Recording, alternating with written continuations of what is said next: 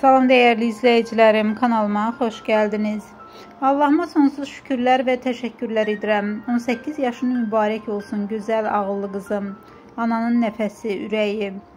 Sən mənə Allahımın əmanətisən. Sentyabrın 8-i mənim üçün çox özəl bir tarixdir. Anam dünyasını dəyişdikdən sonra sanki ruhum getmişdi. Sənin gəlişin mənə yeni nəfəs verdi, məni həyata bağladı. Axşam nöqtəz xəbər verir ki, bu sözləri xalq artisti Mələkə Əsədova qızı ilə bağlı paylaşımında yazıb. Aktrisa Gülərin 18 yaşı tamam olduğunu vurğulayıb.